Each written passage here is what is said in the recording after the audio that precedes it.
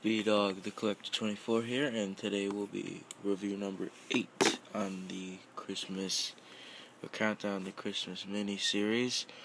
Today I will be reviewing CM Punk from Elite Series 16. First, the packaging uh, is the front, it includes Best in the World t shirt.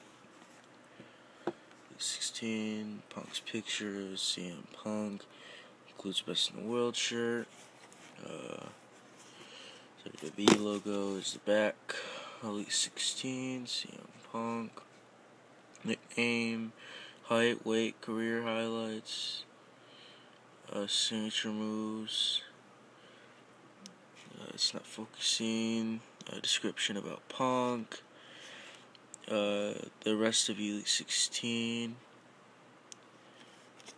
uh, Punk, and a stupid ring with a stupid figure inside.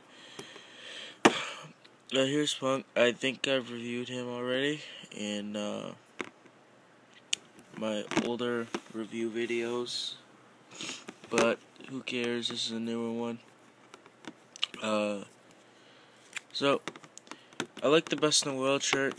It's a bit tight, but let me take it off so you can get a better look at the figure.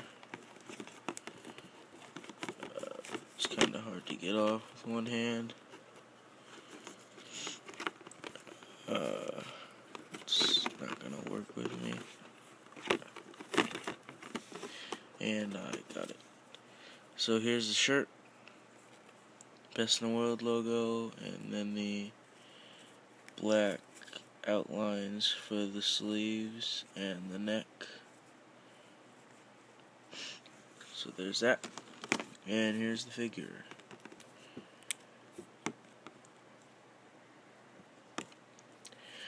Uh, as far as detailing, he has all of his tattoos on his arms.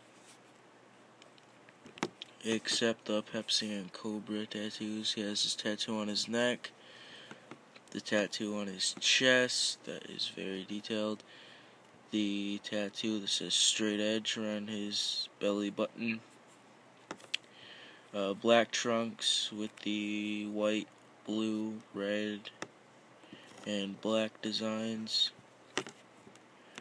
I believe this was from Money in the Bank last back in 2011.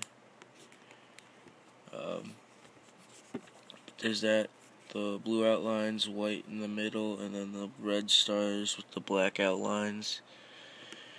Same thing on the back and the sides. You got uh, black outline, white outline, red outline, black outline, then the blue in the middle. So, got the plain black knee pads and the black kick pads with the white, blue, red, and black designs again.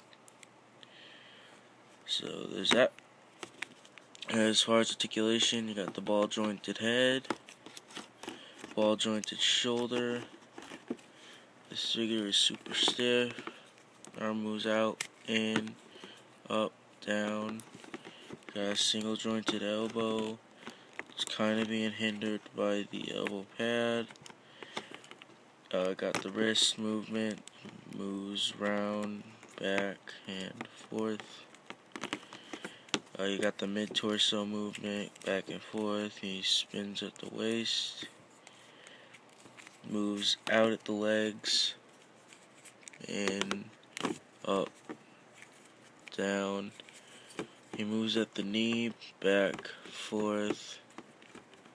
He swivels at the top of the kick pad, and he's got the ankle articulation. Moves back and forth. So here's CM Punk um, for review number 8. Like I said, uh, I'll be doing a different superstar every day. Um, up until Christmas Day, where on Christmas I'll be reviewing one figure I got from Christmas, so stay tuned for that. And if you like this video, go check out my other seven videos now I got for reviews which I've reviewed. Big Show, Best of 2011, uh, Wade Barrett, Elite 11, Kazarian, TNA Deluxe, uh, The Rey Mysterio, and Miz Battle Pack 17 or 16, one of them. Uh, Elite 15, Evan Bourne, and Elite 17, Kofi Kingston. So yeah, check those out. Check out uh, the Punk, and of course, watch tomorrow. I will will be reviewing another superstar. So yeah, guys, keep watching, and I'll see you later.